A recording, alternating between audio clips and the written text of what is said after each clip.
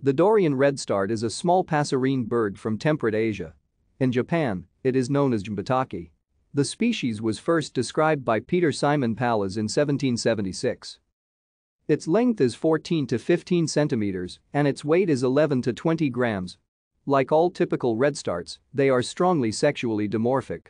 Breeding males have a gray crown and nape with lighter forehead and crown sides, a black face and chin, brownish mantle and wings and a large white wing patch. The chest, lower back and rump are orange, and the tail is black with orange sides. Juvenile males are similarly patterned, but much duller and less clearly marked.